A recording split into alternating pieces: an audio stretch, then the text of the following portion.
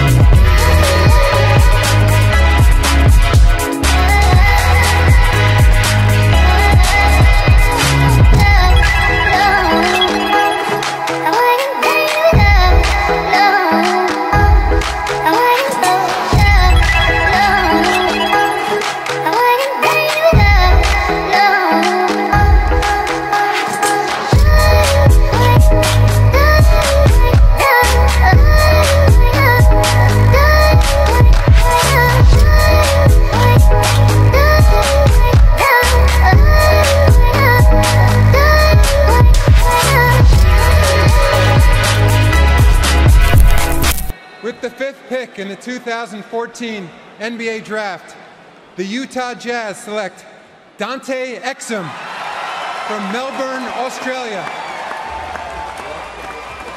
Exum, a rangy guard, but a young guy.